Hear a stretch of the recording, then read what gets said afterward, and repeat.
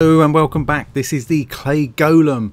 We are not in Foundry VTT. We will be, but we're not yet. Um, so we had a bit of a request from uh, Anthony, uh, who has suggested a video for us that I thought would be a good idea actually, and have a little bit of a break from Curse of Strahd, look at something a little bit different um, and in fairness, we have looked at a bunch of these bits before, but not necessarily stitched everything together in one complete journey. So what are we looking at? We're looking at three different things. We are starting off with DonJon's random dun dungeon generator. We're going to have a, a little look at Dungeon Craft.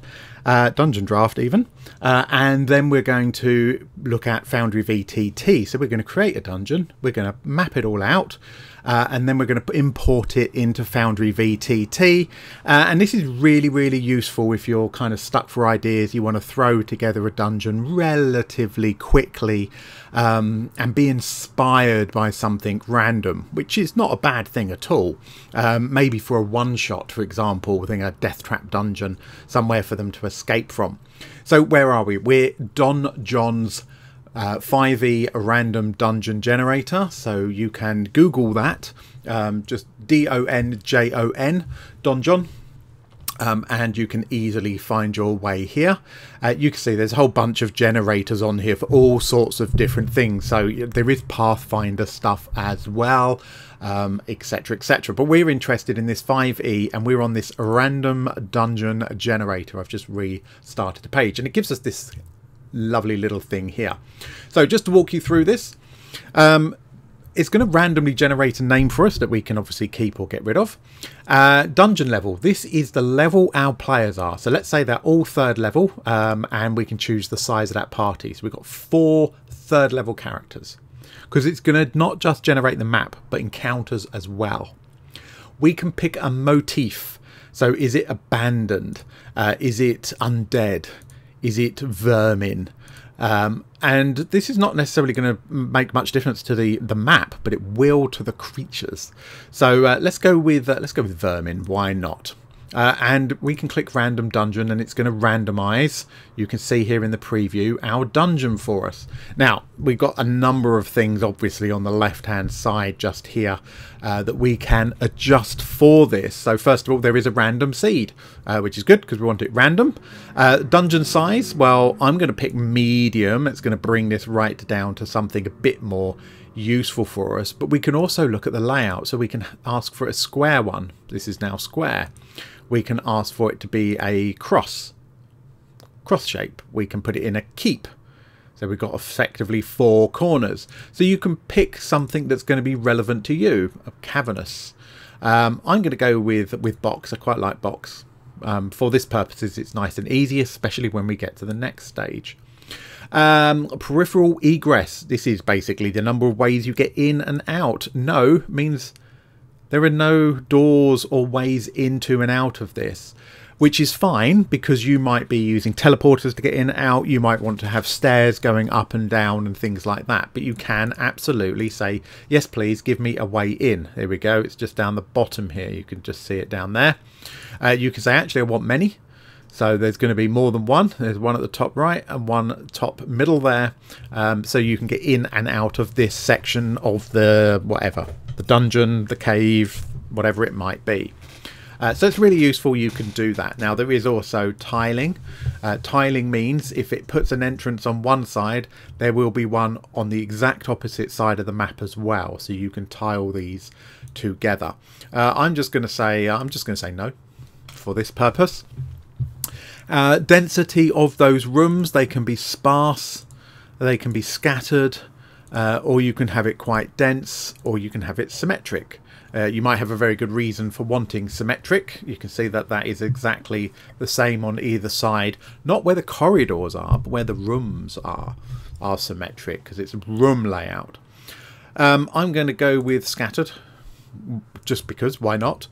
Um, I can now talk about the size of those rooms. Let's make them medium. So obviously medium rooms, you can have fewer of them um, but they're going to be a bit more sizable. Uh, polymorph rooms. So how many sides? So are we allowed um, rooms with more than one side? If we say yes, some of these rooms are going to be changed to be hexagonal um, and octagonal and things like that. If we go many, then more of them will be, and we've got some that are circular, um, we've got a mixture there. So you can decide, it mixes it up a bit, doesn't it? It makes it a little bit more challenging for the decorating side of it, but um, you can choose if that's what you want. I'm going to stick with no. Uh, what about doors? Basic doors? Secure doors? Standard? How do you want them? I'm just going to go with standard doors. Uh, when we talk about corridors, we can talk about whether they're labyrinthine, um, errant, or straight. So straight corridors go from one room to another, straight line. They don't go all over the place. Um, errant means all over the place, and labyrinthine means it's a bit of a bit a bit squiggly. But again, it's up to you. But that's going to work in conjunction with the dead ends. So if you look at the top left here of this preview map, we've got this weird corridor. It comes out of this room, it goes to a dead end, it squiggles around and goes to another dead end. That's what this remove dead ends is about. So if you say leave it on none, it will leave dead ends in all over the place. Bottom right hand corner, top left, uh, top right corner, top left, bottom left. Blimey, I've lost my left and my right, haven't I? But you know what I mean. Um, and that may be what you want. It might not be. You could say, yeah, I'm going to remove all of them. There are no dead ends here at all anymore. And if it's a kind of a completed structure, that's probably what you want to go for.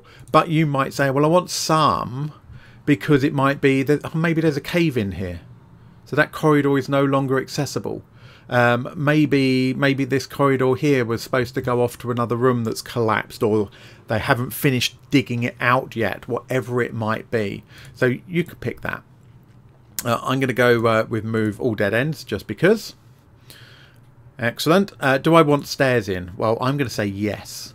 Uh, so it's now put some stairs in just here and some stairs in here. So if you say yes to stairs, it's going to put one lot for coming up and one for going down. Uh, of course, you can switch them around. And of course, you can also select many, which is going to put multiple sets of stairs in there. I'm going to leave it like this. Map style.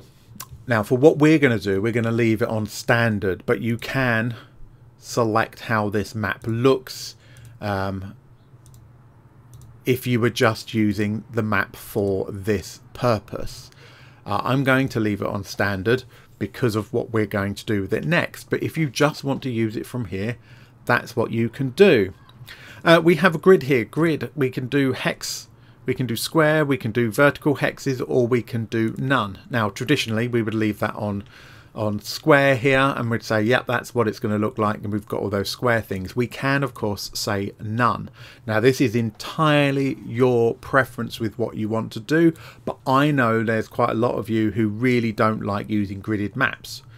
We use the grid in Foundry VTT but don't have the grid drawn on the map. Fine whatever. Um, whichever works for you. So I'm going to say no grid which is going to make it slightly more difficult to play with in the next step um, but hey, we're up for a challenge, right? uh, now we've got all of those in and we're kind of happy with this because bearing in mind we can change this random generator number if we want to. Um, that's all great. I'm kind of happy with this. I can click construct dungeon. Now, going to give it a few moments as it does it. Uh, here we go. It's, give, it's given us the name, the Forsaken Tome of Malice. Of course, we don't have to use that. Um, but look at all these rooms. They've all got numbers on and things. Okay. Uh, and it's given us a key here for the map. Stairs up, stairs down, types of doors, whether they're locked, etc. But every one of these rooms has a number on it. And if we hover over it, so room number 34, it's giving you a little pop-up to tell you what's there. Ettercap and four giant wolf spiders. Nice. Uh, and some of the corridors, like this, has an I in it. Someone has scrawled, save yourself, kill the others here. There's an M here, falling block. Uh, there's a C over here, magic missile trap. So not only has it generated the map, it has generated all the content. So let's scroll down a bit. It gives us this history of this dungeon, which we can take or leave um, what the walls are like, what the floors are made of, the temperature of this place, what kind of illumination it has. Gives us some information about the corridor here. There's that eye. Someone has scrawled save yourself. Um, so we can see what that is. We've got that falling block there, that magic missile trap, etc. So it's generated these randomly for us. uh, it's given us a random wandering monster table, which is great. All based on we picked, if you remember, oh, it's not up there anymore. Uh, we picked vermin, didn't we? So we've got things like kobolds um, and were rats and, and things like that uh, in here, as opposed to lots of undead if we'd picked undead, or lots of giant type creatures if we'd picked giant. Uh, so that's really cool that you can theme uh, it from that point of view, uh, just by what your options are. Uh, and then we've got full room descriptions. Room 1 tells you that the west entry is an archway. We've got a stuck wooden door, DC 10 to break it open. What is in here? We've got some that, we've got some monsters, we've got treasure. And again, all of this is adjustable, but it has generated us a dungeon with all of these rooms in that we might want to use. And that is pretty damn cool, isn't it? And it's completely randomized. So if you're really struggling for inspiration, this is the way to go. Um, if we decided we really don't like this or we want to change it, we can go back to settings, redo something else if we wanted to. Now, for this purpose, we're going to say, yeah, we love this. We're going to go ahead with this, all right? Um, bearing in mind, we can change anything we don't like and, you know, move it out and whatever. We're going to go to download. Now, we can download in a number of different ways here. We can download a map which has all of the indicators and everything else on. We can download the player's map, so the dungeon map without its secret doors and labels, etc. Um, print scale, uh, TSV, HTML. We want a PDF, so we're gonna we're gonna click PDF. It's going to take a second, and it's downloaded me a copy of that PDF. It's 14 pages long. There's my map. Here's all my room descriptions. I mean, how good is that? Now we're going to keep that because we're going to need that later um, when we rebuild the actual room itself. Now if we go back to downloads, um, we can actually download a copy of our map here. Uh, so print scale, a dungeon map upscaled for printing. Um, I think we will probably want that one. And then we can open this one and there we go. We've got an image there. Now it's got all the numbers and stuff on it.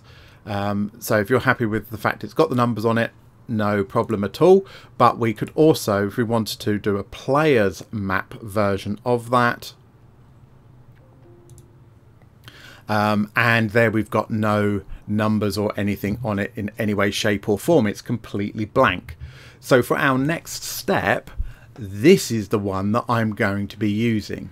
Okay, so we're going to switch over to Dungeon Draft now um, and then see what we can do with this next. Okay, so here we are over in Dungeon Draft. Um, nothing in here at all. So we, well, first thing we need to do, of course, is import our new map. Now there is a step between generating the random dungeon and this bit that might be of interest to you, but I'm going to skip it just for, you know, make my life a bit more challenging. And you'll see what I mean in a bit. Right, so I'm just going to stick with uh, 64 by 64. Uh, and uh, I haven't got any asset packs installed. So obviously Dungeon Draft there's lots of access to asset packs and things like that. I haven't got any installed. I don't need to worry about it for this purpose, but you know, you want to make it as beautiful as you can. So I have started a completely new map here. I can hold down control to zoom that out. Uh, and here it is. It's just blank. There's nothing in here. What I want to do is I want to bring in that map we have just done. So if I go to settings, I can go to trace image. So in the top left hand here, I went to this icon, go to trace image, uh, and I can open a file. And I am going to be opening that Forsaken Tome of Malice, the player version without the numbers on. There it is. Tiny, tiny, tiny in the middle. Now, this is the bit that's going to drive you nuts. Um, and this is just about lining this up so it's actually going to fit this grid. Let me zoom in a bit. Because each of these squares in Dungeon Draft is effectively 5 foot by 5 foot. So if I want my map to match that, what I can do, if I drag that over, we can see, I'm looking just here, that corridor is nowhere near wide enough. So I'm going to need to keep zooming in here until my corridors are about five foot wide. Now this harkens back to um, watching me do terrible, terrible grid referencing in Foundry. Um, I don't know how much you guys love me struggling with grids. So you get to watch me do it a bit more in here. So if you choose to do the gridded version um, when you're in the random generator, you will of course have a grid on your picture to line up with the grid here. So you might say, hey, why the hell are you doing it this way when it will just produce a grid? Well, you're right. That would be really sensible. Um, but for me, I prefer to have non-gridded images. Uh, so I've just lined this up with the bottom corner here and I can see it's not quite lining up. I need to make my image a bit bigger again. Line that up and we're getting close. That's looking reasonably good. Not quite lining up here. It doesn't take too long, and if it took too long, I would stop doing this so that you don't have to watch me. Now, the thing you need to be careful of is is when you uh, start moving around. Every time you do that mouse wheel, or you move, you hold the left mouse button, you're moving your map. So uh, that's going to drive you nuts. Uh, if I hold down control, I can scroll out the whole thing, scroll back in. That fits almost perfectly over there. Almost perfectly over here. That's good a blood enough, right? So I'm going to come off of that option to stop me messing that up. Um, come on. Thank you very much. Whee! Do you know what? I'm terrible with these things, aren't I? It's entertainment value. Okay, so we've got our template of our dungeon map in here now, just as we had it before. Um, which is really good. That's what we wanted. But obviously we've got a bit of noise around the outside here. We've got some extra squares we don't need. Well, that's okay because we can sort of trim this down now. Um, so if I go to this trace, uh, sorry, if I go to menu, I can go to change map size. Uh, now I've got one, two, three, four, five too many at the bottom. So if I wanted to add them on, I could click this add, add arrow and it's going to add on four tiles. I'm actually going to take off four. I've got one, two, three, four, five, six. Was it six or seven? Can't count. By doing minus, it's going to trim those down. It should have been seven. So it's trimmed that off nicely uh, and I can just do that again uh, just to I want to trim one more off of that side I'm going to trim four off of that side yes I know what it did uh, and it's because uh, while I've trimmed it um, give that back. Thank you very much. Uh, because I trimmed it, obviously the map is over to one side. But you get what I mean. You can fiddle around with that um, and sort that out in your own time. You don't want to watch me spending hours doing that. So now we have our map as we want it on there to scale. So now it's just a case of using the normal, let's go to the build tool, we're using the normal dungeon draft um, tools to create our dungeon from what we've got. Now again, I haven't got all those extra asset packs and stuff installed at, the, at this point, which is fine. So I'm going to choose, for example, I'm going to choose this type of, on the left hand side, I'm going to choose the type of wall um, and I'm going to choose the type of floor. Let's go with, um, Let's go with worn bricks. Uh, and then I'm going to zoom in just to make life a bit easier for you guys to see. And I can select my rooms and I can just start drawing my rooms here. Uh, and of course, because it's Dungeon Draft, it's doing the Dungeon Draft thing of just creating those as I need them, which is brilliant. So we're covering up our template, but it's really easy. We're just following that. So this normal dungeon draft stuff, of course, you don't need the template. You don't need to trace a template. Uh, you can just come in and make it yourself, but that can be quite hard on the creativity. And it's like, oh, what room shall I put in? Where shall I put that? All my rooms look the same and things. So it's nice to have that random generated. And of course, it's got all those encounters. I'm not going to do the whole lot. So I'm going to do that um, what I am going to do is I'm going to go in and I'm going to select the same kind of wall. Now, double click, I'm going to put those that in there. Double click, I'm going to put that in there. Um, because these doors on here are halfway between a tile. Okay, so um, I can choose where I want to put my door. I'm going to put my door there. Um, I'm going to select a different door and I'm going to put that there. Normal dungeon draft tools. Okay, let's not spend too long doing that, um, but I can absolutely come in and add on the extra things that I want to. Go to my object tool. I can scroll through whatever objects you've got um, and I can start placing those however I want within my rooms, within my dungeon. We put a little teddy bear over here in that corner. Uh, all my furniture, whatever it might be, I can start placing this in um, anywhere I like. Uh, let's put a harp over here. For, for reasons unknown, it does not matter for this purpose. Random armchair, we'll have a wooden table, um, we'll have another wooden table, uh, I missed chairs somewhere. Uh, doesn't matter. Doesn't matter. I'm just going to put a couple, literally put a couple more pieces out. So let's put a, a grate down there, um, and whatever the heck some of that stuff is. Go on, find something else a bit more interesting. Random lily pad. No, let's put a crate of food or something, whatever that is. Okay, so we have created this. Of course, we're going to go and complete that through the whole dungeon. Now, bearing in mind that we have a PDF file that has a description of all of these rooms, what the standard walls are like, what the standard floors are like. So you can go through and actually follow that and build this dungeon in according to that randomness, uh, which is absolutely fantastic. So we can go through, we can put all the walls in, put all the furniture and things in again, following that guide, or changing it and making up however we like. Because of course in Foundry a lot of it's case of the characters can see that there's a harp there. Um, you know, so you're not going to forget that that's a thing. Now you can also go do do and things like lighting. Um, we can add lighting into this. We're going to add. Um, there we go. Just make that a bit smaller.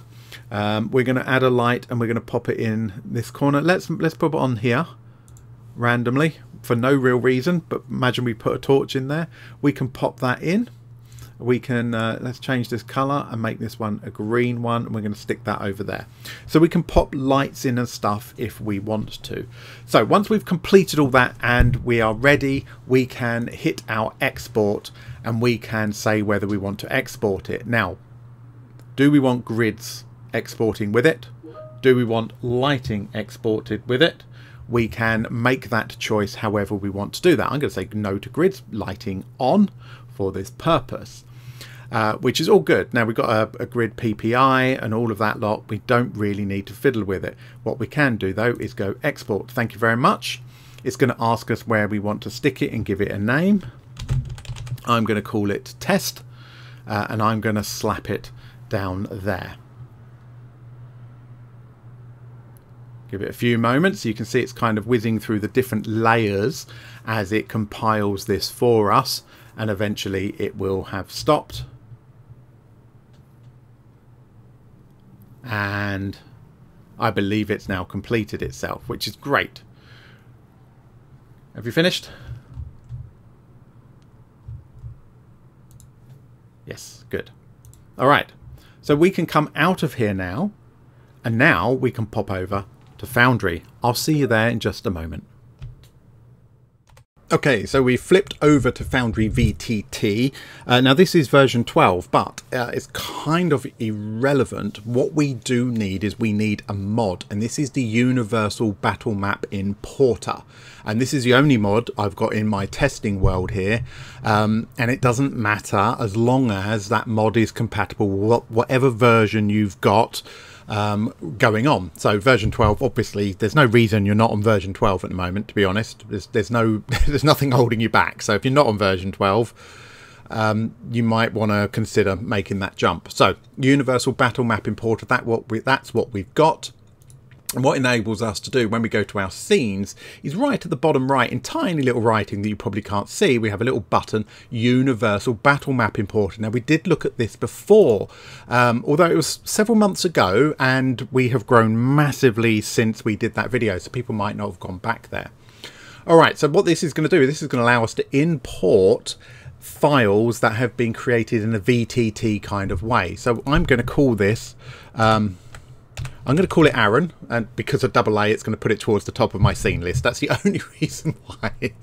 And of course, I can set a path that this is going to upload. Now, this is going to put it in my DM folder of stuff, which is where I used to dump lots of junky bits. Um, doesn't matter for this purpose it really doesn't matter for me but you want to put it where you need it to be and I'm going to choose my file here uh, and I saved it as test very conveniently it's right there for me my test uh, and I can tell it's a D DD2VTT file type and I can just open.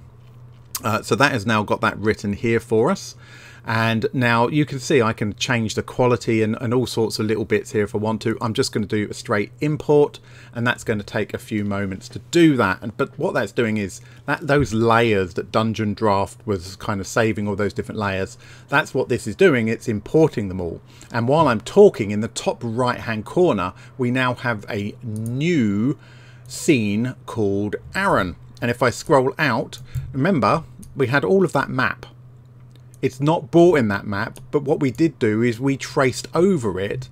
And when we traced over it, this is the only bits that we actually built. But we could have, if we had forever, which we haven't. Some of these videos are long enough as it is. Uh, it's only brought in the bits that we did. But this is now perfectly aligned to the grid. Um, and we've got all of that in there. Now, of course, we can do our usual stuff of come in here. We can uh, make our grid transparent. Remember, I didn't export the grid, so it's not part of my picture.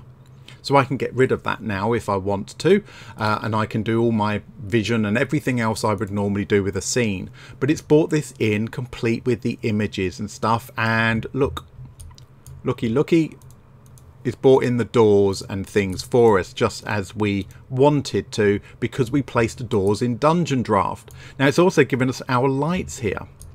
Let's have a quick look through our menu at the top. If we go to tiles, there's no tiles. These items are not tiles. They are part of the drawn map. Uh, if we go to walls, it has drawn all of our walls for us.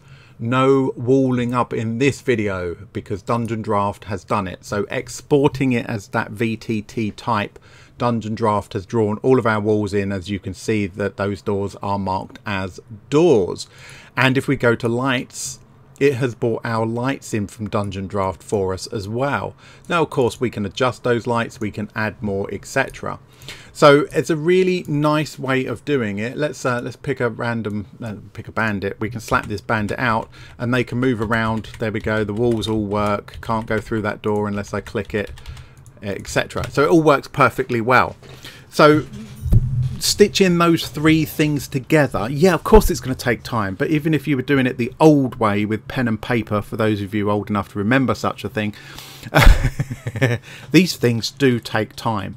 But we can randomly create that dungeon.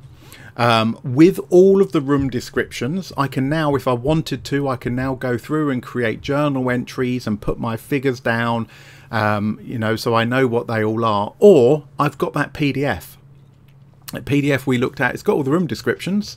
As long as I know which room is which and that PDF contains a copy of the map as well, I've got my adventure ready to go. Now I'm not promising that those random generated encounters are going to be brilliant in all cases. Um, I would strongly suggest that you edit those quite strongly, go through, does it make sense? Otherwise you, you're going to end up with pretty much a, a hack and slash kind of dungeon but that might be what you'll want to use this for. That might be exactly it. Maybe you want something down and dirty just to throw at your players to burn off a bit of steam and to hack their way through stuff. Um, and of course, we can, based on the description in that in that um, in that adventure, we can slap all of our monsters out that it requires uh, in Foundry VTT, knowing that that's going to work the way we want it to. So that's it for this video. Uh, so once again, um, thank you for Anthony for the suggestion of this one. A bit of a break from doing Curse of Strahd stuff, so it's quite nice to see something, you know, do something slightly different. And, and again, use the random generator to generate ideas for your dungeon. You don't have to use its map. You can use its map however you want. Um, you can stick it into Dungeon Draft so that you can draw your map out and add the pretty pictures and stuff, but you don't have to do that. Um, I mean, you you know, whatever works for you is really good.